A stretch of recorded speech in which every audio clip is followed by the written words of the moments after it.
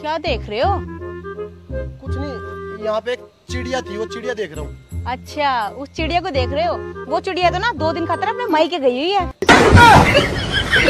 चल अंदर। चिड़िया देख रहा था। अगर हमारी तरफ़ लगा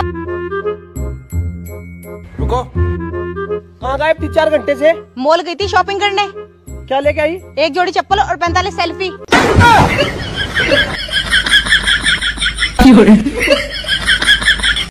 अरे क्या हुआ? मुँह पे हाथ क्यों रखा हुआ है? पड़ोसन ने थप्पड़ मारा। क्यों? मुझे क्या पता? मेरे को बोली एक पप्पी दे दे। मैंने दे दी। वो कुत्ते की बात कर रही थी जो हमारे घर में तीन तीन पप्पियाँ हैं। चल अंदर।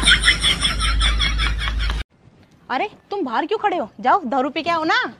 यार तू कैसी औरत है? अपने पति को खुद दारू पीने भेज रही है। जब तुम दारू पी के आते हो ना तो मेरे सारे फ़ायदे ही फ़ायदे होते हैं। ऐसा क्यों? घर का पूरा काम भी करते हो और मेरे पैर भी दबा देते हो। दारू पी के आओ ना।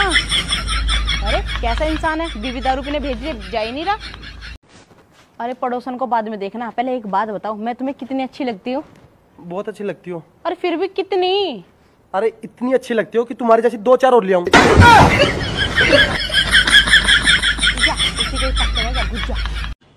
सुनो तुम रात को सपने में मुझे गाली क्यों दे रहे थे और मेरे घर वालों को भी कोस रहे थे? क्यों झूठ बोल रहा है? उस टाइम तो मैं सोया भी ना था। इसका मतलब तू सच में गाली दे रहा था मुझे और मेरे घर वालों को भी। सुनो जी अब फेरों के टाइम पंडित के कान में क्या पूछ रहे थे? अरे कुछ ना मैं पंडित पन्नू बूझो था अगर इसने अपने दाएँ बिठाऊं अक बाएँ बिठाऊं फिर क्या बोला?